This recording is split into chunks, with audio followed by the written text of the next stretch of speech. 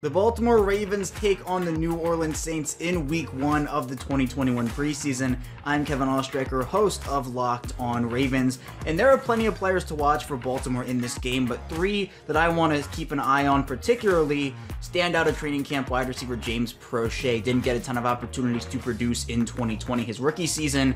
I think with the increased opportunities he'll get, especially in this game, he can produce with those. Also, looking at defensive tackle Justin Madubuike, I mean, someone who I think is going to be thrust into a bigger role in 2021, and he deserves it. He's my pick for biggest breakout on this team, and with his ability to generate interior pressure as well as stop the run, even chase down screens, I think he'll have a big game in this as well.